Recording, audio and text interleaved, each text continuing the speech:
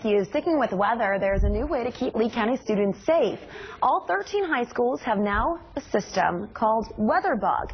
It's for better protection against the threat of lightning. We actually use that system here at ABC 7.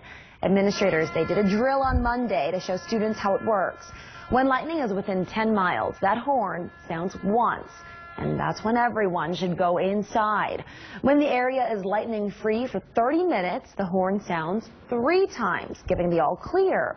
County officials decided to speed up the lightning protection process when 11-year-old Jesse Watlington died after being struck by lightning last October.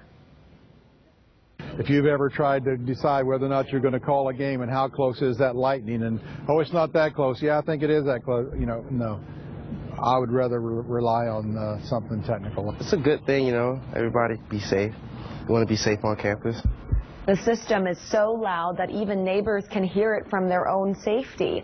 The district now wants to expand coverage to middle and elementary schools. Meanwhile,